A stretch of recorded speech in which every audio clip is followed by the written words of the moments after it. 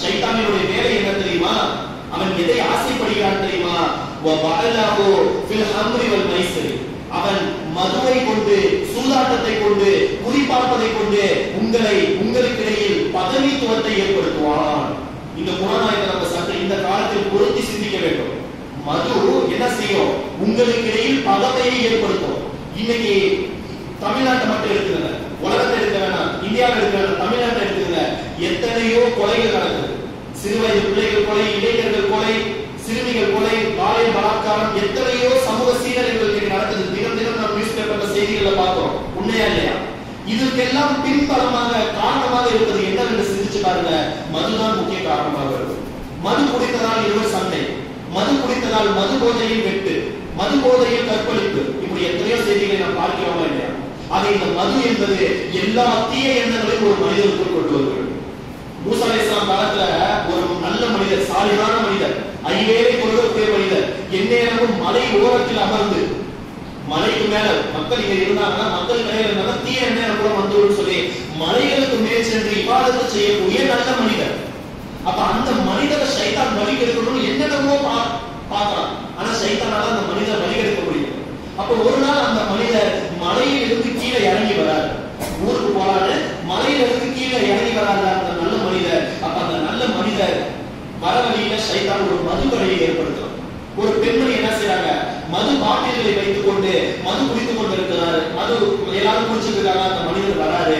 அப்ப சைதான் சொல்றான் கொஞ்சமா போய் அந்த மதுவை குடிங்க. அப்படின்றப்ப அவர் முடியாது அப்படின்றாரு திரும்பி சொன்னா அந்த பெண்ணை பாருங்க. இந்த பெண் எவ்வளவு அழகாக இருக்கா. அவளை நீங்கள் ஆசையாக பார்க்க கூடாதா அவளை அனுபவிக்க கூடாதா என்று சொல்லி அந்த நல்ல மனிதனுடைய மனசுல சைத்தானுடைய எண்ணத்தை போடுறான். இப்படி பல எண்ணங்கள். அவரை கொலை செய்துட்டா அவருடைய பணம் எல்லாம் நீங்க எடுத்துக்கலாம் சொல்லி என்னென்னமோ ஆசை வார்த்தையை பார்க்கிறான் அந்த மனிதர் எதுக்கும் ஆசைப்படல. இறுதியாக அவருடைய மனசுல ஒரே ஒரு ஆசையை மதுவை குடிக்கதானே கூடாது. சற்று மோந்து பார்த்தா என்ன? அது எப்படிதான் இருக்குன்னு பார்ப்போம். இன்னைக்கு நிறைய இளைஞர்கள் இப்படி போய் மாட்டிக்கொள்றாங்க நான் மது குடிக்க மாட்டேன். ஆனா எப்படி இருக்கான்னு பார்க்கலாம்னு போனேன். நான் குடிச்சுட்டேன். பார்க்க போட மாட்டேன். எப்படி இருக்குன்னு பார்க்கலாம் வாங்கினேன். சிகரெட் குடிக்க மாட்டேன். எப்படி இருக்குன்னு பார்த்தாலும் நான் குடிச்சுட்டேன் இப்படி வழிமாறி போன இளைஞர்கள் எத்தனையோ பேர். அப்ப அந்த மனிதனுடைய மனசுல மதுவை பற்றின ஒரு சின்ன ஆசையை சைத்தான் ஏற்படுத்தினா அந்த மனிதர் என்ன தெரியுமா செய்தாரு? மதுவை எடுத்து குடிச்சிட்டாரு. நல்ல மனிதர் மதுவை எடுத்து குடிச்சிட்டாரு. மது அவருடைய உடம்புக்குள் போனவுடன் சாராயம் அவருடைய உடம்புக்குள் போனவுடன் அவர் மனசுல ஒரு மாறுதல் ஏற்படுது அந்த பெண்ணை பார்க்கிறாரு பெண்ணின் மீது ஆசை வருது அவளை கற்பழிப்பதற்காக விபச்சாரம் செய்வதற்காக நெருங்கிறாரு அவருடைய கணவர் வந்து தடுக்கிறார். அவருடைய கணவர் வந்து தடுக்கிறாரு. உடனே ஒரு கத்தி எடுத்து அவருடைய கணவரை குத்தி கொலை செய்திருக்காரு இந்த பெண்ணையும் விபச்சாரம் செய்திருக்காரு வரலாறு சொல்லுவாங்க ஒரு மது எல்லா பாவங்களையும் ஒரு மனிதனை செய்ய வைக்கிறோம். அவர் சொன்னாரு விபச்சாரம் ஹராம். அவர் சொன்னாரு கொலை ஹராம். அவர் சொன்னாரு பிறருடைய பணத்தை சூறையாடுவது ஹராம். ஆனால் எந்த ஹராமையும் நான் செய்ய மாட்டேன்னு சொன்னவரு கொஞ்சோடு மதுவை குடிச்சாரு அந்த மது எல்லா பாவங்களையும் அவரிடத்தில் இட்டுக் கொண்டு வந்தது என்ன சொல்றாங்க எல்லா பாவங்களுக்கும் தாயானது இந்த மது அந்த என்ன பெருமானார் ஸல்லல்லாஹு அலைஹி வந்து சில சஹாபாக்கள் இப்படி கேள்வி கேட்பாங்க. என்ன தெரியுமா? நாயகமே நாங்கள் முன்னொரு காலத்தில் மதுவை குடித்துக் கொண்டிருந்தோம். அந்த பாத்திரங்கள் எல்லாம் எங்க வீட்டுல இருக்கு. இப்ப அந்த பாத்திரத்திலே நாங்கள் பால் குடிக்கலாமா தண்ணீர் குடிக்கலாமா என்று கேட்டப்ப அப்ப நாயகம் சொன்ன வார்த்தை என்ன தெரியும்? நாயகம் எந்த அளவுக்கு மதுவை தடை செய்திருக்கிறார்கள் பாருங்க. அதிலே நீங்கள் தண்ணீரும் குடிக்கக்கூடாது பாலும் குடிக்கக்கூடாது. அதை உங்கள் வீட்டை விட்டு அப்புறப்படுத்துவீர்கள் என்று சொல்லி பெருமானார் ஸல்லல்லாஹு சொன்னார். ஏன்? அதை நீங்கள் தண்ணீரை ஊற்றி குடித்தாலும் உங்களுக்கு பழைய ஞாபகம் மது குடிக்கக்கூடிய ஞாபகம் வரும். ஒரு கால் அந்த ஞாபகம் உங்களை மது குடிக்க செய்துவிடும். எனவே அந்த பாத்திரங்களை கூட தொட்டு பார்க்காதீர்கள் என்று சொன்னார்கள் என்றால் இன்று நம்முடைய இளைஞர்கள் அந்த ஆத்திரத்திலேயே இருபத்தி நாலு மணி நேரம் உணர்ந்து கொண்டிருக்கிறார்களே இந்த இளைஞர்களை நாம் எப்படி மீட்டெடுக்க போகிறோம் பெருமக்களே? இது நம் ஒவ்வொருவரின் மீதும் கடமை என்பதற்காக இந்த செய்திகளை சொல்லுகிறேன் அதாவது ஒரு பத்து இருபது வருஷத்துக்கு முன்புள்ள உலமாக்கள் நிச்சயமே சாலிதான் மனிதர்கள். ஏன் தெரியுமா?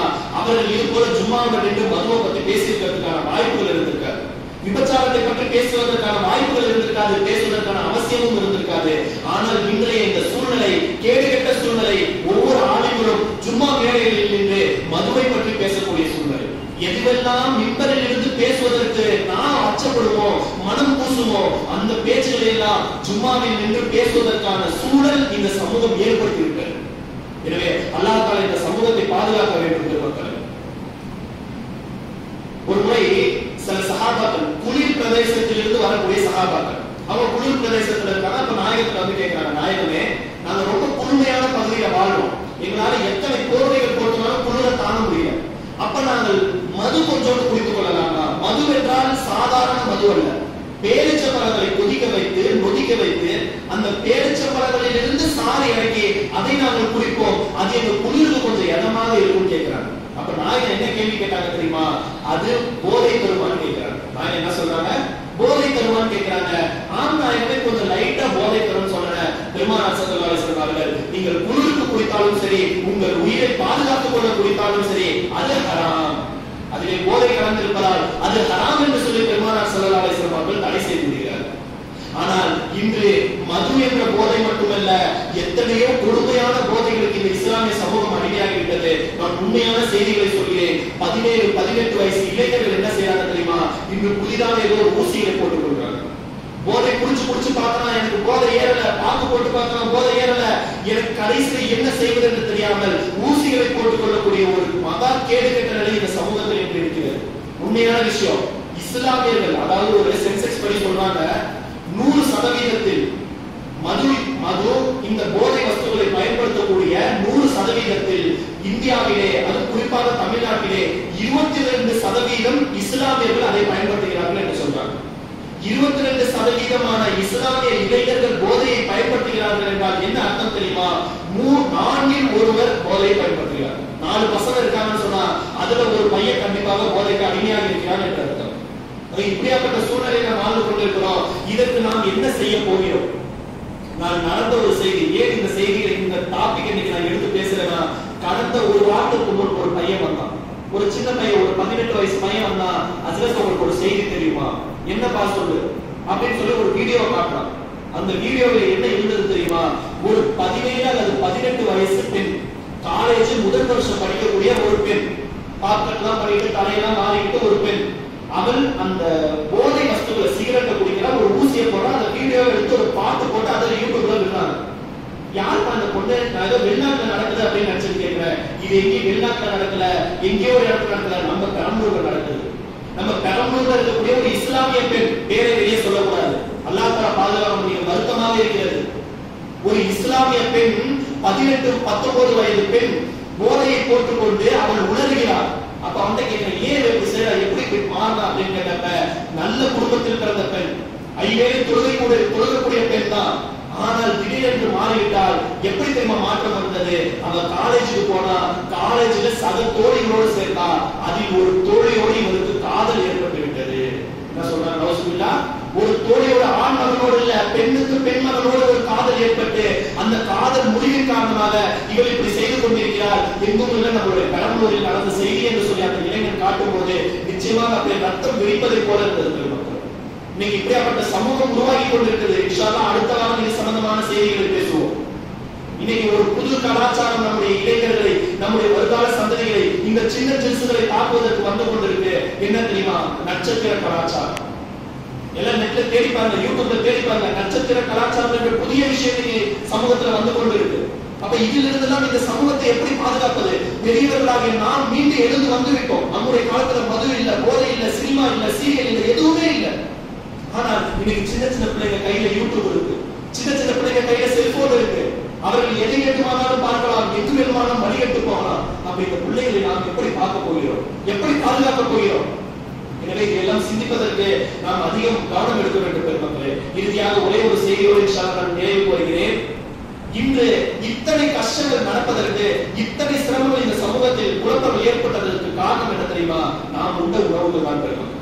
இந்த பிள்ளைங்க சாப்- சாப்பிடக்கூடிய சின்ன சின்ன சாக்லேட் இருக்குல்ல இந்த சாக்லேட்டுகளில் எமுல்சிபரியர் என்று சொல்லக்கூடிய ஒரு மகா பாதகமான சில கெமிக்கல்ஸ் விளக்காக்குறாங்க இன்ஷால்லா அடுத்த வாரத்தில் இது சம்பந்தமான விரிவான விளக்கத்தை நாம பேசுவோம். அப்ப இதை போன்ற சாக்லேட்டுகளை பிஸ்கட்டுகளை குறுக்குறிகளை இந்த பிள்ளைகள் சாப்பிட்டு அவருடைய மனமும் வேதனிக்கிறது அவருடைய புத்திகளும் வேதனிக்கிறது.